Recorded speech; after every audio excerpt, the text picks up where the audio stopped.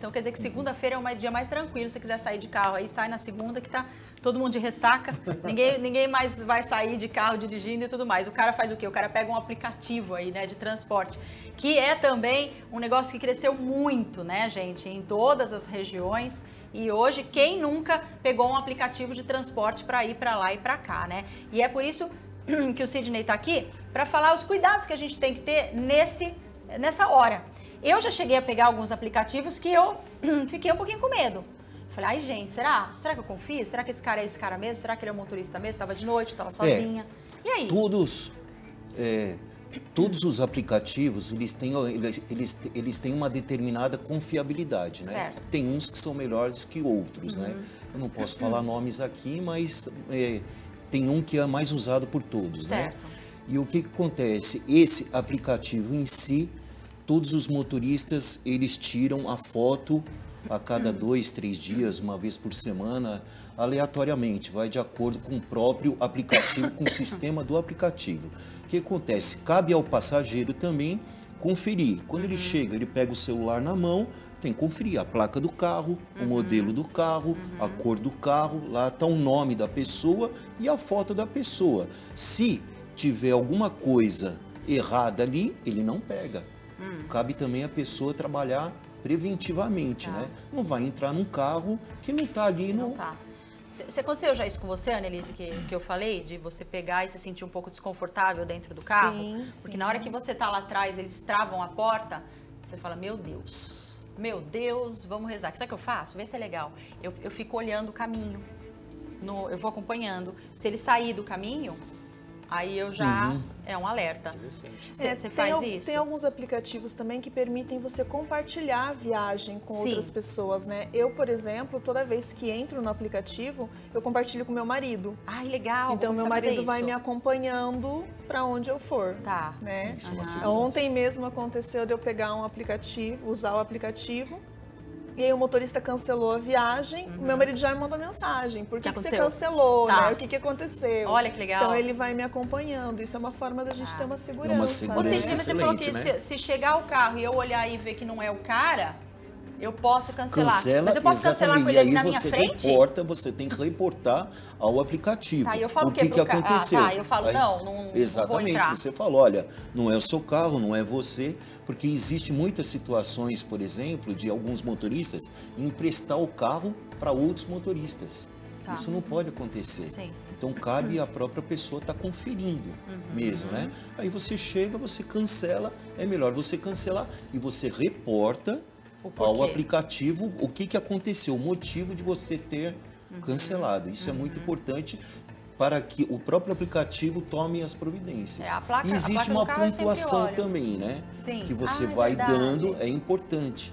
Então cabe ao motorista estar sempre a pontuação alta. Uhum. Então você olha, determinada pontuação, pô, o cara está com a pontuação lá embaixo, eu não vou pegar. Esse cara uhum. deve ter muita reclamação, alguma coisa aconteceu, ele bate boca, né? Então, é, entendeu? Não entra também aquela como é que eu falo, determinada, é, como é que eu falo, determinada reclamação. Tá. Porém, existe alguns elogios sim, que sim. os passageiros vão colocando embaixo. Então quer dizer que o, que o que o risco maior é você pedir esse aplicativo, pedir esse motorista na pressa, na correria, que daí Exatamente. você não vai olhar nada disso que você está falando. Exatamente. Por exemplo, na hora que você tem esse tempinho para dar essa olhada nos comentários é importante. Então, é esses comentários importante. eles não são fakes, eles Exatamente. realmente são de passageiros. Exatamente. A própria educação, às vezes a pessoa desce do carro, abre o porta-malas, pega a sua bagagem, uhum. Ajuda você a descer a entrar no carro. Uhum. Isso é muito importante. Né? Pedro, Cabe teve algum ao... impacto do, dos, desses carros na, no trânsito em geral? Da nossa região ou não? Ou são carros que já circulavam e agora só não, de modo geral, são carros que já circulavam, né? Uhum. Às vezes existe o, a questão de, do, do, do, aplicativo facilitar a aquisição do carro para a pessoa e tal, né? Uhum. Mas esse impacto não provocou, não. Está provocando realmente no, em Rio Preto, especialmente, que tem muito, muito veículo, é, uhum. é a entrada é, de veículos é novos mesmo. mesmo é. Muito bem. Gente, é, você que ligou a TV agora, a gente está batendo um papo sobre a Semana Nacional do Trânsito, né? Falando sobre é, é, como manter a calma, como ser civilizado, como pensar no outro, como dirigir direitinho, né? Porque daí todo mundo segue o fluxo e o negócio vai bem. E também estamos conversando sobre Uber. Opa, aplicativo de transporte. Sabia que ia escapar hoje, não tinha jeito, né? Uma hora ia escapar, uma hora ia escapar. Porque é o seguinte, esses dias eu é, fui com o senhor, né? E ele falou para mim assim: eu morro de medo de ser assaltado. Então eu queria também que você falasse não só o risco do passageiro, mas o risco de quem é motorista. É, né? Tem muitos que motoristas que assistindo a gente. O que, que o motorista pode fazer para se prevenir, né? Para ele também não sofrer um assalto, para ele Sim. não sofrer alguma violência? O que, que acontece? Hoje, para pessoa ela, ser, como é que eu falo, motorista de um Uber é muita exigência. Oh, escapou também. Perdão, desculpa. Ou então motorista de qualquer não, outro bem, aplicativo. Perdão. Então, um a um, né? Aí é o seguinte, existe muitas exigências. A pessoa tem que fazer psicotécnico, tem que colocar as três letras atrás da CNH dela, uhum. ela passa por uma série, eles levantam a ficha criminal da pessoa, ou enfim, tem algumas exigências. exigências. Porém, para um motorista, aliás, aliás, porém para o passageiro, Não, né? é super simples. Todo Ele consegue abrir até até uma própria conta através do Facebook dela. Sim. Se o cara criou um Facebook, uma página falsa lá atrás, ele vai conseguir abrir.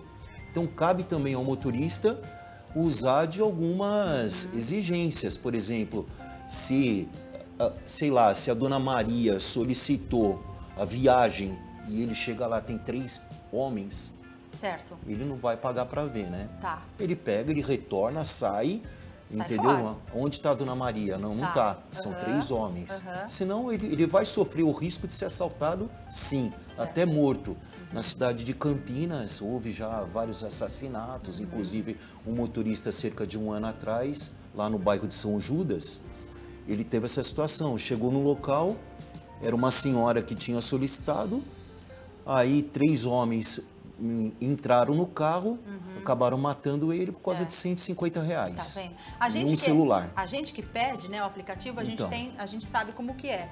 Agora, a gente nunca viu o outro lado, né? Como que o motorista Exatamente. recebe as nossas informações. Ele tem acesso à nossa foto, por exemplo? Não, não tem. Não, o que, que ele tem de acesso? Só o nome? Só o nome da pessoa, foto, o endereço. Nós temos a placa, né? Exatamente. O... E o itinerário que a pessoa Isso. vai, o destino que ela o vai, destino. que ela está pedindo. Então, quer dizer, é muito mais fácil o motorista sofrer alguma, algum assalto, alguma Sim. agressão do que o passageiro. Muito mais. Tá. Porque o motorista Até quer, porque quer, o próprio tá motorista, empresa, né? ele sabe que se alguém, se ele molestar alguma pessoa de alguma determinada maneira, ele uhum. sabe que ele vai ser punido e a polícia vai achar ele. Uhum. Porque tem a foto, tem o carro, tem todo o trajeto que, que foi feito, entendeu?